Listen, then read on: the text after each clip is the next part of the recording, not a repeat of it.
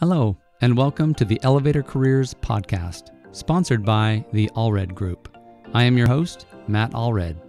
In this podcast, we talk to the people whose lives and careers are dedicated to the vertical transportation industry to inform and share lessons learned, building upon the foundation of those who have gone before to inspire the next generation of elevator careers. Today, we are talking with Alan Greenwell. Alan has worked both in the office and in the field in the US and internationally.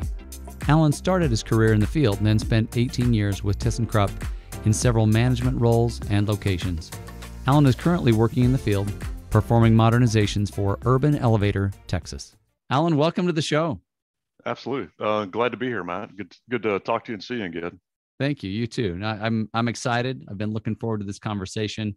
Obviously, we've talked numerous times over the years. You've you've right. given me a lot to think about and just wanted to explore your career. To me, mm-hmm. you've had a, an extraordinary career. You've done a lot of things. And first question I want to ask you is how did you even get into the trade?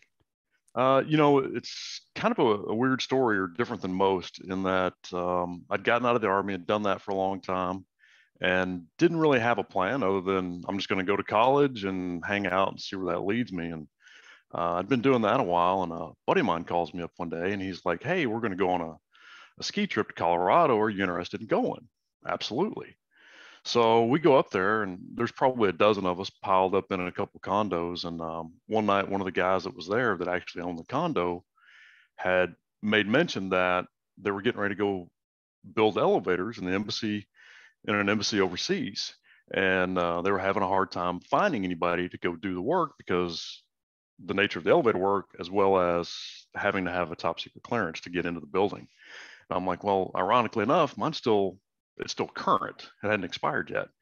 And he's like, uh, well, what do you know about elevators? I'm like, well, I, I think I know everything. You know, you hit a button, you get in the box, you hit another button, and you get off the box and you go on about your way. There you go. And um, so that's kind of how, even though I knew absolutely nothing about elevators, I had a clearance and they were willing to take me over there. So I signed up to uh, go do a job in Hong Kong for about that was about nine months over there, and worked uh, a little bit here in the states for him before that, and then um, did that job for him in in Hong Kong, and came back was here for a while, and actually got to go to Havana, Cuba, and work down there for a while as well, which is kind of a you know, between going to Hong Kong and building elevators and going to Cuba is kind of that's very unique. Yeah, yeah not everybody kind of gets to go there.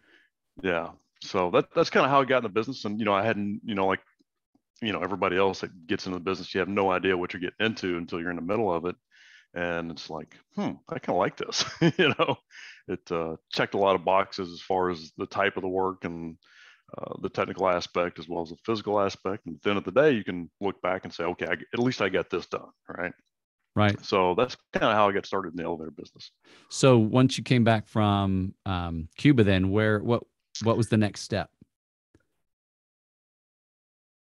Um, I worked for uh, once we got back from Cuba. I worked for those guys for a little bit longer, and we kind of decided to go different ways. Um, you know, it was a great filler job. You know, working at college or you know going to college and working part time and stuff like that. And I ended up going to uh, go to work for Fujitec here in Dallas. Okay. Um, on the construction side of the business and uh, worked for those guys for a couple three years. Um, you know, just you know, low and mid rise tracks and stuff around North Texas, and then um, went down the path with uh, ThyssenKrupp for I don't know 15, 20 years, something like that. And when you sit down the path, you're talking about a leadership. So you you left, as I at least I think, right? You you left the field at that point and got into supervision yeah. and management. Yeah, um, one of the guys, one of the cornerstone guys at Fujitec here in Dallas was a guy by the name of Russell Gardner and uh, he left Fujitec and became construction manager construction manager for at that time, which was Dover. Um. And he'd been over a few weeks, and he called me and he's like, "Hey, you know, you may want to get in on this." So I uh, moved over to Dover in the office as a construction superintendent trainee, for like a better term, and then superintendent in Denver and um, Oklahoma City, Kansas City, you know, just kind of bounced all over the country because I was the, the single guy that could go anywhere, you know. Right. So, and I spent, uh, I think it was about 18 years with uh, with Thyssen before I finally decided to do something different. And and as I understand it, at some point you you left management and actually went back in the field. Is that correct? yeah, yeah. After 18 years at uh, TK, I thought, well, you know, I'm gonna, uh, some differences and decided to try something new and went to uh, went to Kone for a brief stint, um, and then you know just kind of settled with uh, the fact that I wanted to be back in the field. So went back in the field. Uh, I guess it's been about five years ago, um, and I've been in the field. Worked at Fujitec for about a year, and then uh, at Urban Elevator for the past probably three and a half, four years. What so, What was it that that brought you back to the field? You know, there's there's something to be said for the simplicity of just building stuff. Um, there's no there's no BS about it. It's you know tab A and slot B, if you will, or no no um, corporate politics. Is that what? Yeah, the, you know roller guides don't really participate in politics. uh, so, and you know after 18 years of the grind and you know the politics and the corporate culture, which is you know some people are good with that, I, and I was for a long time. I just kind of got tired of it, and just you know the simplicity of showing up at six o'clock um, building stuff and going home and not having to be badgered by 8,000 emails, phone calls, webinars, meetings about meetings to plan the next meeting. Um, I just, you know, reached the point where I was done with all that for a while. Sure, sure. So, um, like I said, I've been at uh, been at Urban Elevator for yeah, I think it's about three and a half years now. So cool. So all told, you've been in the elevator industry for oh 20, 26 years, I think. I got in in late yeah, late 95, I believe it was. Yeah. Okay. What what would you say is one of the things you love the most about the industry? Uh, you know, there's there's days where it's just a job and it's like, you know, you want to bang your head on the floor. Um, but overall, you know, it's it's a really small, tight-knit community. Um, it seems as if either everybody is is related or they will be related at some point in the near future. Um, so it's kind of a a weird dysfunctional family, if you will, where everybody does literally almost knows everybody. Right. Um, you know, and I, I, enjoy that about the industry because you know I can go. Um, you know, I was in uh, Minnesota last summer for a race, and there's some random guy with an Otis hat. Well, he knows a guy that I know, and you know, so we spent two hours talking about elevators in the middle of the field in the summertime of Minnesota. So it's it's it's a big family, you know. Um, you know, and uh, the the other thing that appeals to me is it's kind of a niche work. You know, uh, everybody rides elevators, they get it, but until you work in the business, you don't realize that hey, there's just a little bit more going on than hitting a button, getting on the box, and hitting another button. Um, so that that's appealing as well, and then just you know the mechanical and the electrical nature of it. You know. So. Yeah.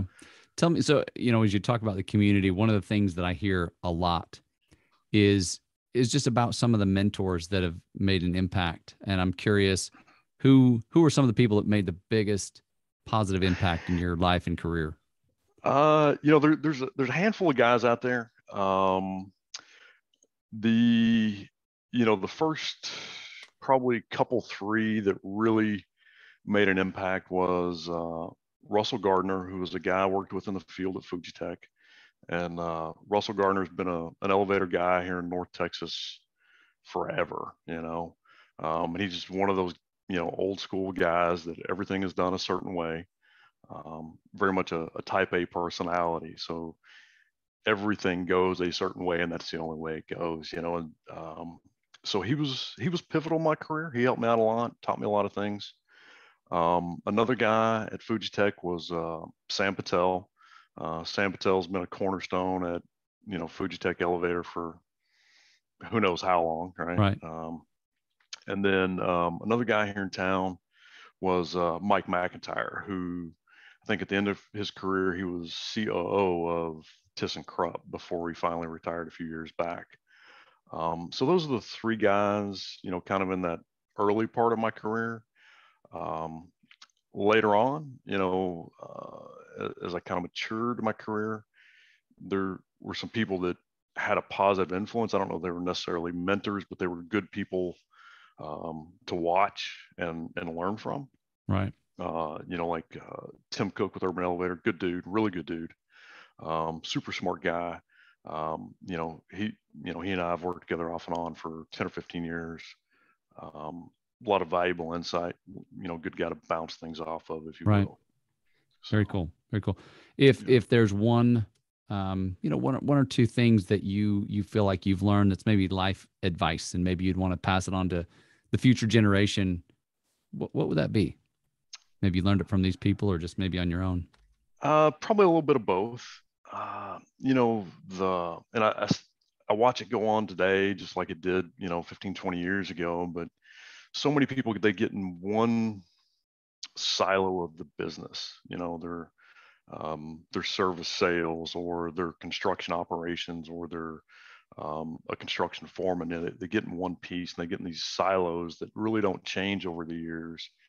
And there's so many different places to look at and go in the business that even though it's the elevator business and it may be in the same office, just one door down in the same building, it, they're radically different, you know, and I, I, think a lot of people need to, you know, really branch out and look at different pieces because it's, you know, if you talk to a, uh, a service guy that has a resident route downtown, that is a completely different world and a completely different animal than um, a guy building, you know, two-stop hydros for Thyssen in Midland, Odessa. Sure. There's the the spectrum is so broad, and I think to for a lot of people to get out there and explore those differences and, and you know may not be the, the best fit for them but at least check it out at least you know that way you know. So that, that would be the piece i would pass on. Cool and it sounds like you've learned a lot from doing a variety of things. You've been in and out of the office. You've probably right. built two stop hydros hydros out in the middle of nowhere and then yeah. you know worked on the other routes as well so yeah very cool what yeah, would you so say is one of the that'd be the biggest piece Right. Thank you. What What would you say is one of the um one of the things you're most proud of as you as you look back? Maybe it's I mean. Oh, that's a hard question. uh, that, that, I haven't killed myself yet. that's that's an accomplishment. Um, yeah, yeah. For me, that that is. You know, uh, you know, Matt. I don't. I don't know that I have an answer for that. You know, there. I mean, there were certain projects I look back on. I'm like, okay, that was really cool, and you know, it, it, it sucked at the time. You know, it was a lot of work and it was hard. You know, um, Arrowhead Stadium in Kansas City.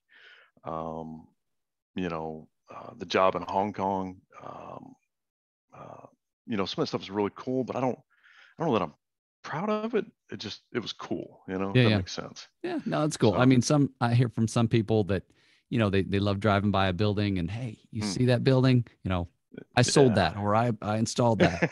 yeah.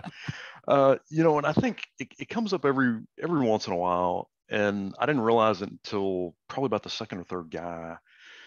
But there was these this whole group of I call them kids, right? Because they're not middle aged or whatever, but they're they were younger than me that you know they were they were handed to me as kind of part of this construction training program, construction management training program. Right. And you know so you, you know you spend some time with them. Sometimes that's three or four months or whatever and you kind of nurture them along in the beginning of the career. And then they kind of go a different path and you may not hear from them for a while. And you know every once in a while I, I get a call from one of those guys and they're like hey I, you know i appreciate the time you spent right? Or you know the effort you put in or um, hey you said this and it, it made zero sense then but you know 10 years later ah, I get it. I get it. yeah. So that's probably what I'm most proud of. No, that's awesome. I'm, I think that's, uh, even though you can't see it, and especially immediately, how much yeah. you've been a mentor to somebody else, how much you've impacted their career. Right. Right. How much they, they look up to you. That's great. Yeah. What are, what are some ways you think the industry's changed since you first came on board? Uh, you know, it's I have this conversation probably about once a week. It seems like it, one to one degree or another. You know, the technology has definitely you know evolved, um, sure. and certainly the elevator industry evolves slower than many other industries, but it's still evolved. You know, um, you know the MRLs, the controllers, things of that nature. Um, but I think the probably the biggest change is the shift from kind of a regional um, I don't want to say mom and pop shop, but just kind of a regional, privately owned company um, to more of the corporate multinational sure um, path. Um, you know, and, and, I think that's slowly but surely swinging back the other way because you know, uh, the OEMs went on a rampage and they um, bought up, you know, all the local players. And now um, it seems like in the past, you know, 12, 18, 24 months, all of a sudden there is this every independent now has instead of one office with four route guys, they've got 10 offices with 10 route guys in every office. So the the pendulum seems to be swinging back towards the independents. Right. So it's kind of an interesting migration over the past couple years, you know. Yeah, yeah.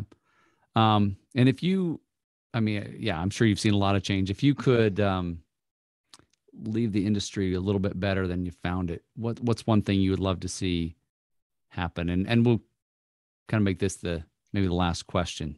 Yeah. Uh, you know, I would really love to see because of the nature of the work, you know, it's it's in a box in the middle of a box and nobody really knows what we do. It's kind of the sure. black arts of the building trades. Um, I would love to see where we as an industry uh, promoted what we do and provided more visibility into that. Um, so many people have no idea, um, you know, how, how complex some of this stuff can be. Um, the the people that are involved, you know, um, you know, some people think it's just some random guy with a dirty pair of pants that has a crescent wrench. Well, that's not necessarily the case. You know, some of these guys are, you know, I mean, we all know that one guy who was, you know, has an electrical engineering deg- master's degree and just liked working on elevators. Right. Um, and but nobody really knows that. I think there's this whole other world that if we promoted ourselves more and provided more visibility, um, you know, I think it would kind of change the industry because you know we're kind of overlooked in a lot of respects. Thank you, thank you. That's that's a, a great thought, interesting thought to to kind of chew on. Mm-hmm. Um, and I appreciate you being on here with me today. Appreciate your, Absolutely, man. your thoughts and insights, and you stay safe out there. And yeah. we'll talk again later. Absolutely. I appreciate your time, Matt. Thank you for listening to the Elevator Careers Podcast, sponsored by the Allred Group, a leader in elevator industry recruiting. You can check us out online at elevatorcareers.net. Please subscribe, and until next time, stay safe.